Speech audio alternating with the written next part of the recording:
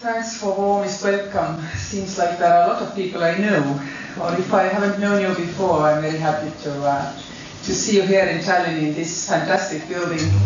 And I have to say, it's totally new when uh, when we realized that this will be reconstructed to be the Estonian Art Academy. Many people were skeptical, but I think it's a wonderful environment, a wonderful place to be, a wonderfully creative atmosphere.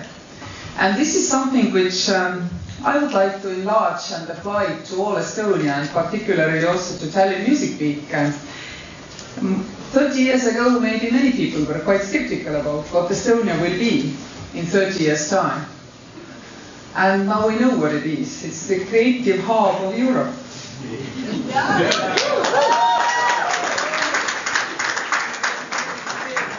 It's an innovation-driven society, and um, we have our capital of Tallinn and our university town Tartu, and all these other towns, smaller towns, they have one great objective.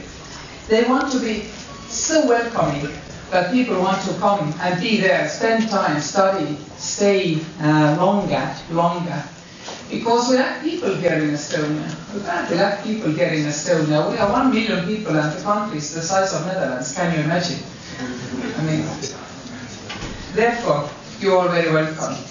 To set up also your um, creative new companies, to use our e-residency offer, which I think is just perfect for an independent, creative um, person, younger or elder, who has um, who has uh, great ideas, great skills, can find markets globally, but maybe wants to concentrate on the European market because after all, a company created by a resident here in Estonia, this is a European company, and um, I think we all here value very much being European. Do we? Yeah. Great. So our flexible uh, legal space and our digital offer to you all allows you to be European, even in the case when you happen to be from the third countries or even from the UK. to all our British friends, we know that the number of e-residents from UK has been ticking up constantly, and uh, and you can find. Uh, uh, a sure and safe foothold for your activities, for your businesses here in Estonia. Frankly speaking, we don't physically even have to move here. Even, as I said, there is enough space, so please come.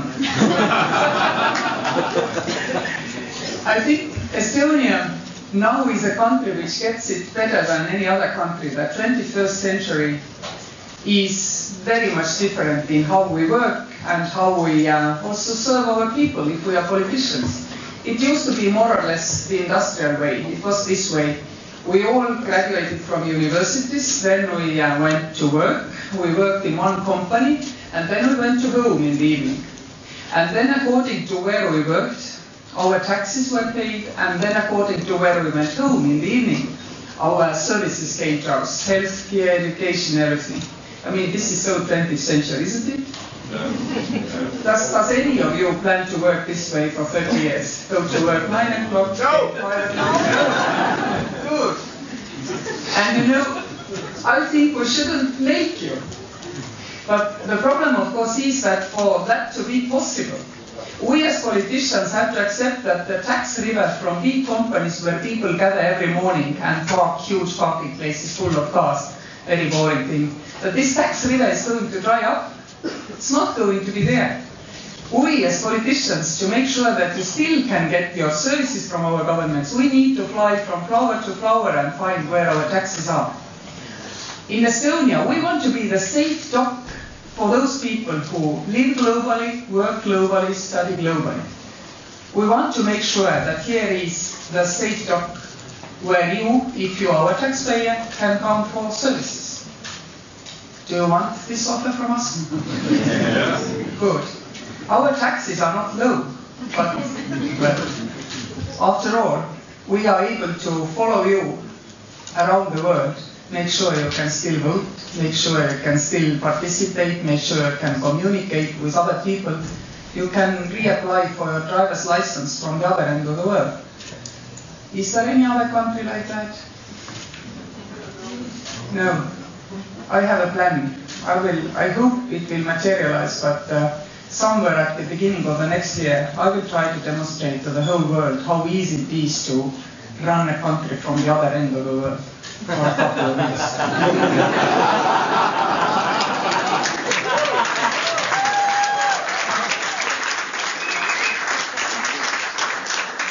And this is the way how we want people who are connected to Estonia to be in the future.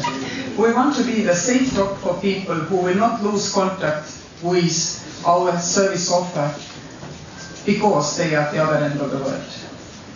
If our politicians get this, I'm quite sure that uh, sooner than any other country, we will be able to offer you this 21st century of living quicker than anybody else. Of course, we are not yet there. We have to work a lot. But um, for that, we, we need a few things to continue this path. And we need creative freedom, we need digital freedom, we need free thinking, we need seamless global society. Is it well trivial what I'm saying? No, exactly. I think 25 years ago I would have said it's trivial. In Europe, you should never think about the freedoms. They are there, they're just there, always there, and granted. Nowadays, I'm not so sure. And I think it's perfectly understandable that we crowd are very hopeful about 21st century, but there are a lot of people who are actually stuck in the intergenerational poverty because the offer of politicians has not been egalitarian enough, and I'm right-leaning politician, just somebody who thinks I might be a social democrat, I'm gonna be. But to guarantee good schools to everybody, easy access to universities to everybody, easy access to healthcare and social services, and the most important of these things is egalitarian school system. If you are into Estonia for longer term, this is something which we guarantee you. We've always here had an egalitarian school system. 200 years ago, when we created first schools for kids to go further than four or five classes which they could go at the close to the churches, these schools accepted girls. There's never been a question, should girls go to school? I mean, egalitarian society is deep rooted here in Estonia. And I think this is very important in 21st century. Because we need to make sure that our freedoms do survive. And for our freedoms to survive, we need to know that everybody in a society has a chance. It doesn't matter what was my choice in this life. Maybe I choose to be unemployed and live in a rural area, maybe go berry picking and sell them in the autumn and make living like that. But my kid has to have a chance to become a doctor or investment banker. This is the credo of Estonians, very much important for us. But for that, to survive 21st century, every day all together, we must stand up for our freedoms. And best way to stand up for our freedoms is to say, hiding yourself away from the global world is never a solution. If you're afraid of this world, come out. I will show you how wonderful place our world is. I take you with me, and we'll do this together. I know you have much more creativity than I do. And I'm not really able to find the right way, the right words, and uh, the right deeds to make sure that we are able to move quickly within our freedoms towards the direction which we want. But you have it. You're here in Tallinn. Help us. Helen is great in uh, thinking of uh, creative city spaces. And I'm quite sure that without her work, Tallinn would not look like it nowadays looks. And something which I never thought when we regained our independence was that um, it doesn't have to be gleaming. The office spaces do not absolutely have to be gleaming. The best real estate development here in Kalamaja, it looks pretty forlorn because it's an old factory and it's only reno- renovated, I mean, so much that it's made habitable.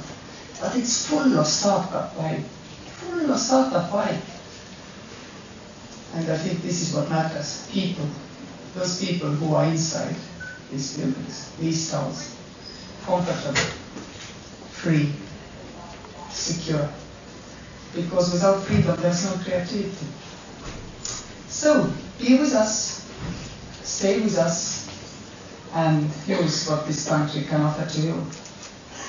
Work with us and uh, smile to everybody. You.